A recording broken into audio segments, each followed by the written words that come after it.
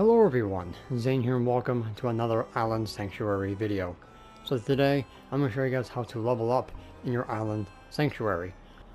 Alright, so each time you level up, you'll have access to upgrades to your facilities, make new paths, and also upgrade your cozy cabin, and also extend your pastures and your crops. So when you've done the tutorial, you'll automatically be hit with level 4, which means you're going to be upgrading your cabin to number 2. Alright, this will unlock the ability to expand your pasture and your crops to rank 2, which I've already done ahead of time. The other thing you want to do is make sure that you build your second facility, which I've already did that too. They will let you know what materials that you need, and all you have to do is go out there and gather them. So you will get experience points for upgrading your facility, so 1425 experience. Now, that's going to be one time thing only until you upgrade it the second time, which is going to be, I think, around rank 6. So you want to make sure you do your cabin and your facilities at rank 4. Next, once you've done your cabin, you're going to do your pasture and your crops. It's going to take a thousand blue cowries in order to upgrade them, which is obviously what you're needing for. So I've previous, previously done that already. So let's go ahead and expand the pasture. It takes about two to three hours to get, the, to get it done. You still have access to it, so you don't worry about not being able to use it. The pasture has now been expanded, so now we are able to carry more animals. Now we can extend the crops.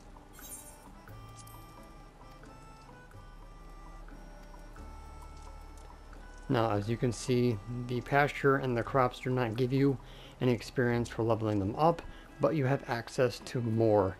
So now when you plant your second batch, you'll now get 120 times 2. So you're going to get 240 experience every two days because that's how long it takes for your crops to grow. Now, I highly recommend that you sow one batch of pumpkins and one cabbage because that way when you are feeding your animals you are able to give them better feed which will increase their mood which is going to be helpful when gathering rare materials that they drop. So make sure you have one set of pumpkins and one set of cabbage. The pumpkins should automatically be grown from the start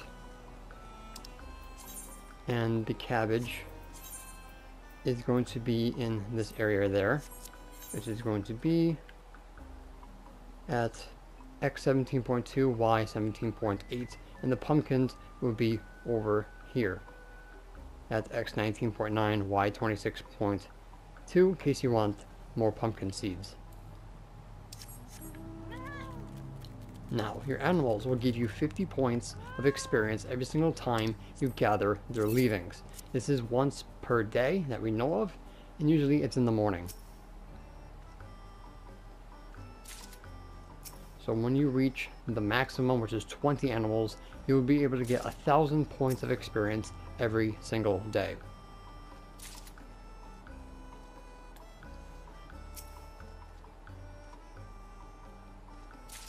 And obviously you're going to be needing these materials to make handicrafts, which is going to be the next thing for experience.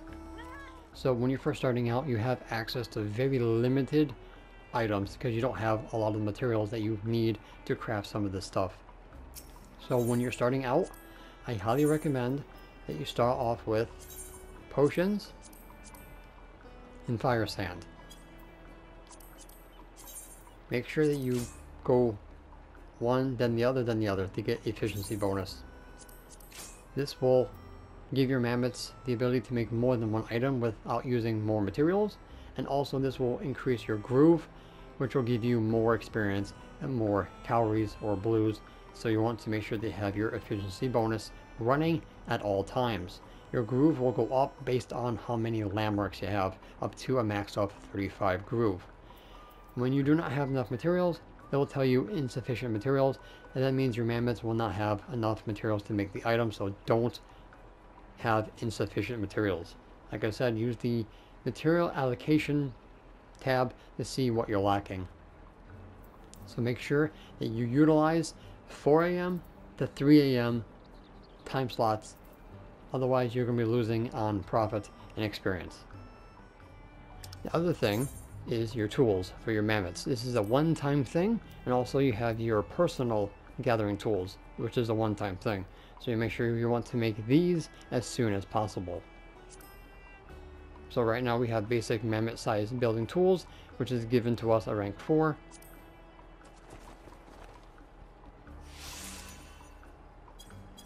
And that gave me 675 experience points. So now what we can do is build our second path to get our first landmark. Now the landmarks are used in increasing your groove for your mammets during the handicrafts, which means that they will make more than one item, which also gives you more experience and more blues, which you are going to be needing. So this is going to cost you 500 cowries to make or produce, so of course you're going to have to pay him. Yes. So the path is going to be instant, and now we have access to our first site, and we gain the level. Obviously, I was always already three-fourths way to the next level anyway. So that gave me 2,025 experience points, which is not bad.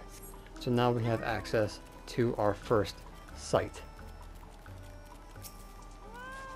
So now we have access to either a windmill or a tree fort. Don't worry, you can switch them around when you unlock the other landmarks. So I have access to either or. So I'm just going to make a tree fort for now, and this is going to take 11 to 12 hours.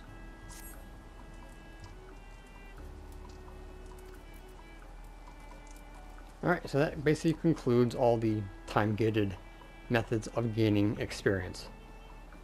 Alright, so now I'm going to go into the island and I'm going to show you guys where to get the apples and the vines since they go together and then I'm also going to show you guys where to get clams for the fry clams and also where to get the sand for the fire sand because that's what you're going to be doing to get quick experience from your handicrafts and your workshop. Alright, guys, so here we are in the open. So right about here is where the apple trees will start. And you'll get one apple and one vine, and we got 10 experience. So right about here at X 18.1, Y 26.5 is where you will start.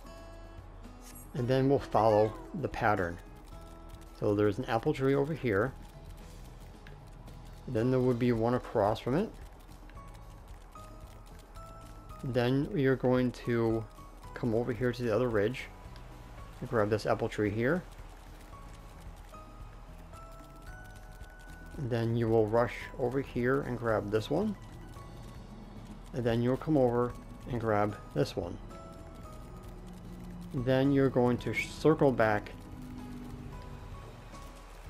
and go back to the very first apple tree that you got. But before that, you need to get at least 10 items gathered so the 11th one will spawn in the first one that you gathered. So I recommend grabbing either the pumpkin seeds here or start grabbing some palm trees. Alright? And that will take care of your apples and also with your vines.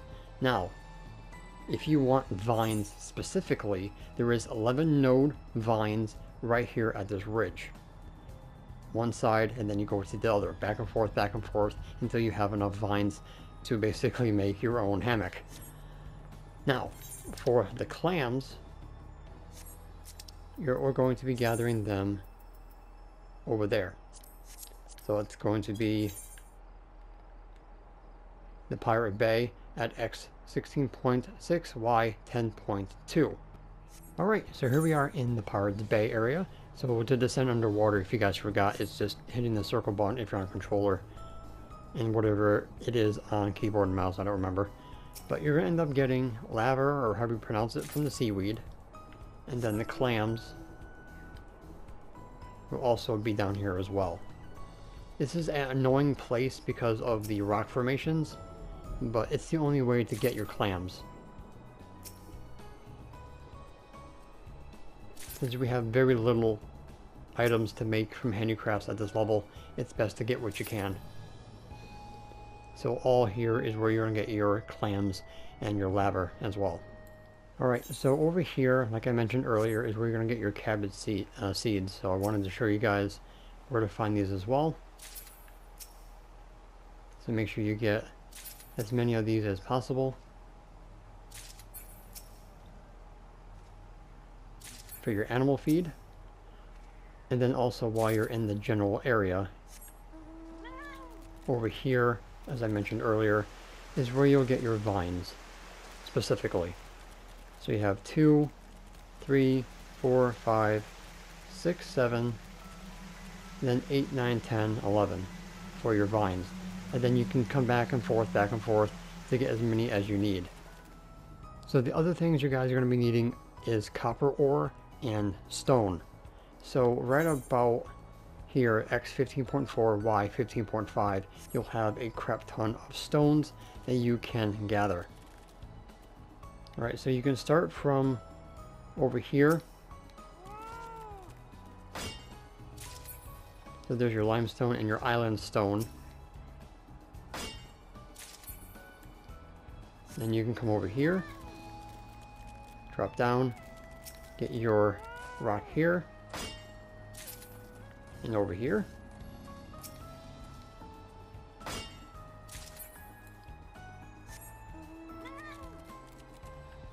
And then you can come over here and there's going to be more rock deposits, except this one is going to have your copper. So the bluish stones will have your copper ore, which will get your stone as well. So you want to farm these in order to expand your facilities. I do have another spot, which is going to be over here at X29.7, Y28.2, but because of the ridge in the mountains, it's a little bit hard to traverse without flying, so I recommend coming over to this spot because it has a very low elevation. And you want to stock up on these as well. And the last thing that I want to recommend you guys getting is the Islewort, which is going to be used for the potions. Alright, so for Island Wort, I do have a nice place to gather them. Also, you're going to be getting rock salt as well, since those are going to be a little bit out of your way.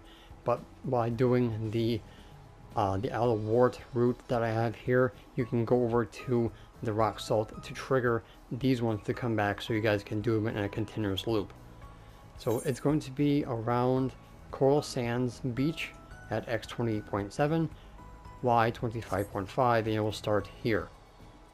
You're going to make your way over to here. And over here, grab these two. Check your mini-map on the, on the right side to see the little leaf icon. And then you'll come over here, grab this one. Come over here and grab this one. And then you'll come over here and grab this one. And they'll give you your Islewort. And then you will come over here around the bend. And then you'll come grab your rock salt in this cave. And you also get your stone as well, which you're going to be needing, so might as well hit them all three at one time.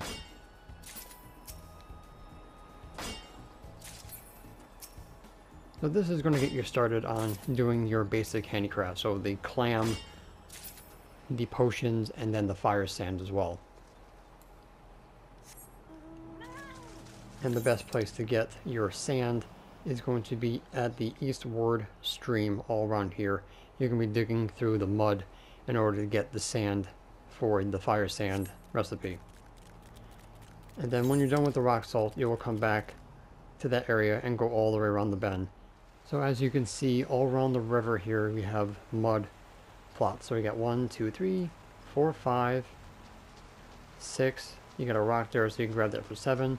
You got one over there for 8. And you have one over there for 9. And you also can grab your apples and your vines while you're in the vicinity. So you want to get these for your sand because you're going to be needing sand for an upgrade as well.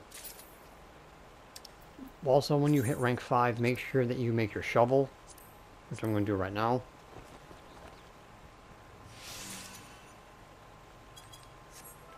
Because when you do your sand, you can now gather clay, because you need clay as well. Now I believe if you do the ones underwater, I think they give you something else. Yes, tin sand. Make sure you also grab some tin sand, which is going to be under the water. So this is where you're going to get your clay and your sand once you make your shovel. You also can start getting parsnips and popotos, which I highly recommend you also grow as well to have a wide variety of items. Alright, so here we are in the gentle slope area. Now as you can see on the mini-map, right here, these are all parsnips. If you go a little bit further north, all right here is going to be popotos, where the chocobos are. So make sure you grab a couple parsnips while you're here. This is going to be in the vicinity of the ores and stuff, so you guys can double down on both. You don't have to go too far. You also get on Wart, so you guys can kill two birds with one stone while getting your parsnips. And then the popotos will be further down.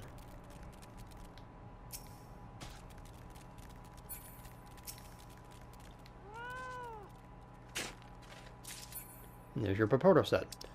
Also, the reason why you want the tin sand is for the better mammet sized building tools. So make sure that you get your 10 clay, your 10 tin sand, the palm logs are going to be from the palm trees, the copper ore, which I just showed you where to get those, and then your limestone.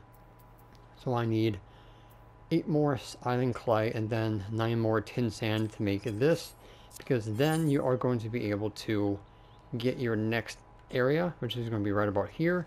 And then you're able to unlock your first granary, which is going to be basically the mammets are going to go gather your materials for you and also bring back a rare material that you will be needing for future upgrades for your landmark and for your facility. So basically that's going to cover all the materials that you're going to be needing to get started with so as you're gathering, you're going to be getting 10 points of experience every single time. So if you just click your brain off for a moment and just start gathering all the materials, you will, get like almost half a level just by doing that. So while you're waiting for all the time-gated stuff to get done, you'll be out there gathering materials to prepare for more handicrafts and upgrades. Always check your manage hideaway to know if something can be upgraded or not and you also can see what is going to be completed. And also if there is a way to upgrade your facilities they will tell you exactly what you need in this menu. And if you're not sure if you have enough materials you'll pay attention to this. So I am out of vine because I need more for my handicraft. So I'm gonna have to make sure that I get at least two more vines to satisfy my demand. So that's how you can check if you're deficient or if you have enough. It's by checking your allocation. And one last thing before I forget. You're looking for branches for the nets. These little old trees here, the little skinny ones, they're going to give you your branches, but also going to give you your island logs. The fatter ones will give you logs and also sap. So just keep that in mind. If you're looking for those materials, the fat ones and the skinny ones are going to be for that. You're going to find them in the wild area around X21.8, Y23.9. Alright guys, so basically that's about it. You upgrade your stuff, expand your hideaway, gather in between, and if you're done with all that and you don't want to do any of this, just walk away and come back when all your time-gated stuff is completed.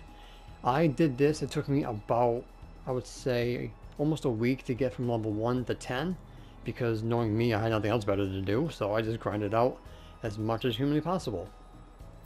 And also make sure that you continue to craft your feed from your apples. That's the only thing apples are used for, so don't worry about wasting them. And I managed to get 80 because I made 8. You also make sure that you do your nets as well.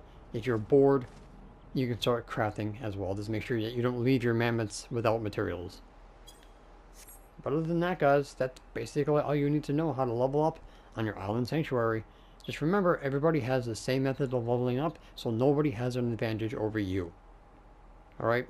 The only advantage is the knowledge. So guys, that's going to be it for this video. Thank you so much for watching. Don't leave a like if you found this useful. Any comments, questions, and or concerns, please put them in the comment section down below.